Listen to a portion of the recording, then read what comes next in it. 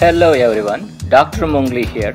So in this video I will be explaining you about special products that are coming from tyrosine. Without further ado,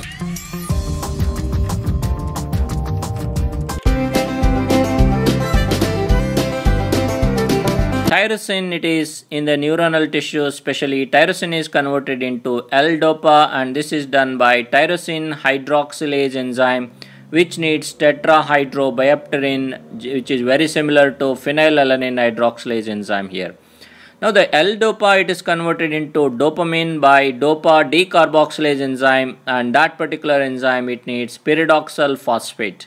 Now all dopaminergic neurons they express only tyrosine hydroxylase enzyme and dopa decarboxylase that is why their end product it is here dopamine and dopamine acting as a neurotransmitter in all dopaminergic neurons. Now in sympathetic neurons where the neurotransmitter is norepinephrine so it means all sympathetic neurons they are going to express three enzymes uh, to take care of tyrosine into norepinephrine and that is tyrosine hydroxylase enzyme, dopa decarboxylase enzyme and also they are going to express dopamine beta hydroxylase or dopamine beta oxidase enzyme. This, this dopamine beta oxidase enzyme it needs copper to synthesize norepinephrine sorry dopamine into norepinephrine and also it needs vitamin C here.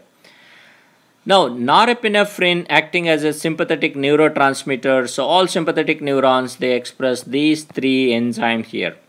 Now further down, uh, especially adrenal medulla or some of these uh, neurons in central nervous system, they do make epinephrine. It means they need to express all four enzymes coming from tyrosine. So tyrosine into L-DOPA, L-DOPA into dopamine, dopamine into norepinephrine and norepinephrine into epinephrine. It will be done by an enzyme called phenylethylamine N-methyl transferase and this phenylethylamine N-methyl transferase that is as it is there in the name.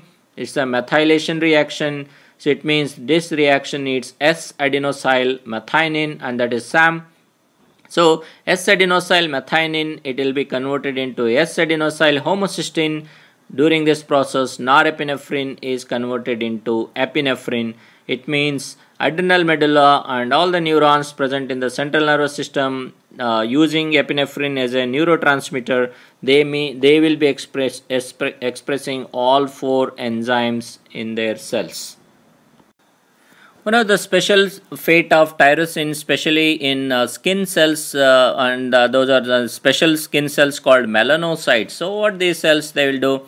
They are going to take some of the tyrosine into dopa and dopa into dopaquinone and these two reactions catalyzed by tyrosinase enzyme and this tyrosinase enzyme it is similar to tyrosine hydroxylase in the conversion of tyrosine into dopa but this is a totally different tyrosinase enzyme in the melanocyte it needs copper as its cofactor unlike tyrosine into dopa in neurons which needs tetrahydrobiopterin as the coenzyme so in the melanocytes, tyrosine is going into dopa and dopa is going into dopaquinone, both the reaction catalyzed by tyrosinase enzyme which needs copper.